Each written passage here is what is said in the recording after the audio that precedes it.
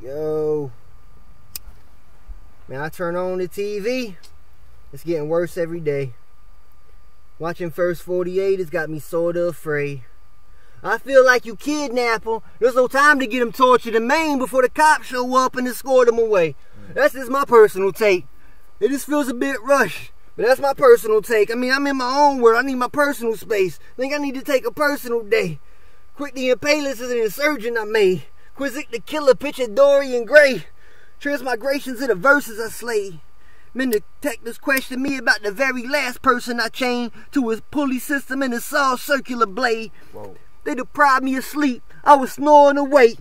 I didn't do it. I bet that's what all the murderers say.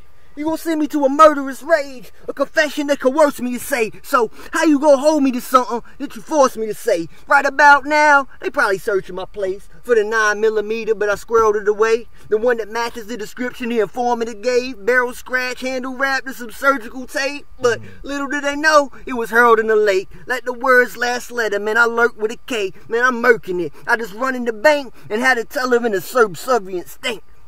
Yo, the hostage negotiator outside cursing my name. He says we can't meet your demands. Do you assure me they're safe? I assure them it don't work out this way. You gonna make me work on my ain'ts when I burn out this place. So either give me what I want, or you gonna have to wait at least a couple of days to see what the coroner say on whether you got them killed or whether they was already dead when they was covered in flames.